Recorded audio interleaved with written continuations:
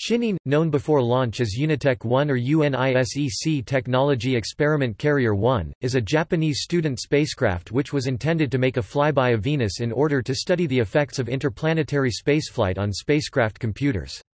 In doing so, it was intended to become the first student-built spacecraft to operate beyond geocentric orbit. It was operated by UNISEC, a collaboration between several Japanese universities. Contact was lost shortly after launch.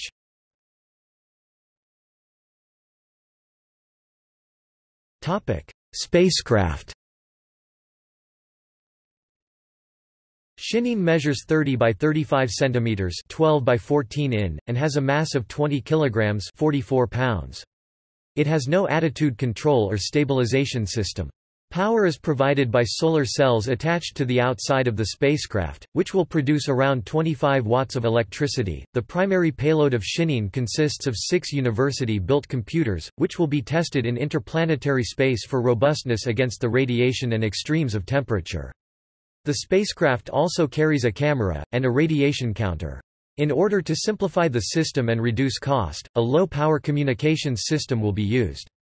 It will broadcast a continuous wave with a data transfer rate of 1 bit per second. UNISEC has invited amateur radio operators to assist in collecting data from the spacecraft.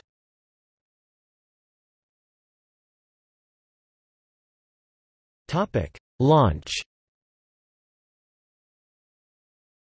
The launch of Shin'en was successfully conducted from Pad 1 of the Yoshinobu Launch Complex at the Tanegashima Space Center, at 21 hours 58 minutes and 22 seconds Coordinated Universal Time on 20 May 2010. It was being launched as a secondary payload aboard an H-IIA 202 rocket, with the primary payload being the Akatsuki spacecraft bound for Venus. The IKAROS solar sail experiment was also deployed from the same rocket on a trajectory towards Venus.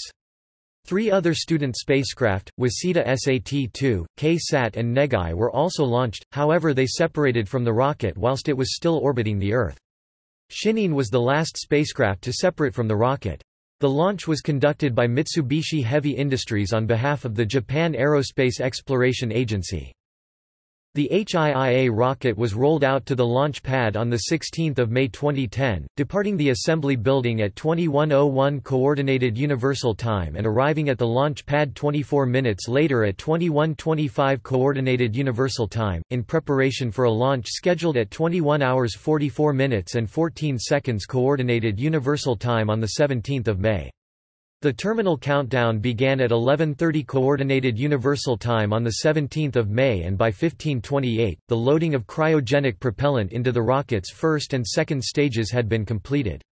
This launch attempt was scrubbed a few minutes before the scheduled launch time due to bad weather. Following launch, Shin'en separated from the carrier rocket into a heliocentric orbit.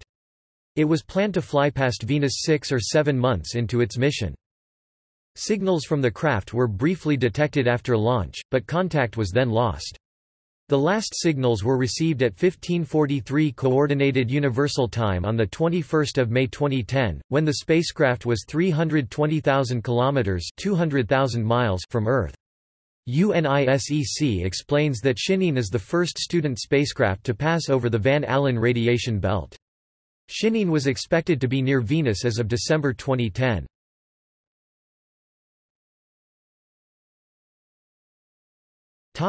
See also.